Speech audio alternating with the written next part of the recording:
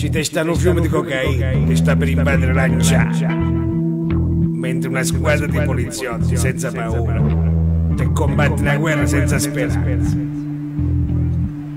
C'è un uomo che arriva da Ortona. Il suo nome è Roma e custodisce segreti talmente scontati da far tremare l'intera nazione. L'andrangheta vuole il controllo della città. I cartelli colombiani vogliono il monopolio del mercato della droga.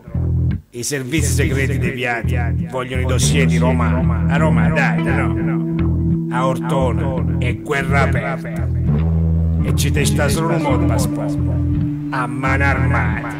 A davvero lanciare.